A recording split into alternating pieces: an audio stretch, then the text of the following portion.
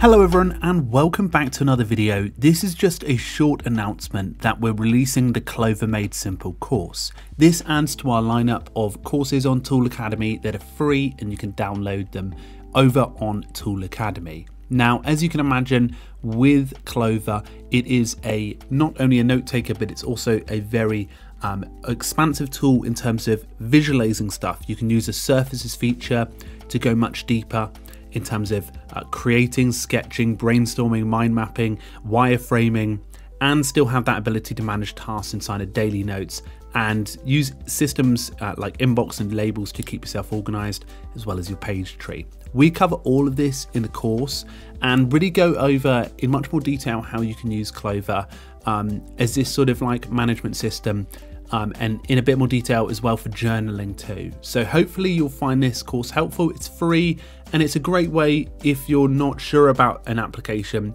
with all of our courses to jump in, find out about it, and work out whether that app's for you before necessarily jumping in.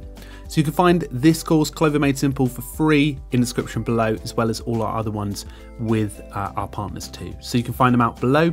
Thank you very much, folks. And uh, if you do want to check out some of the paid classes, there's 20% discount in this video link too. Thanks very much, guys, and I'll see you soon.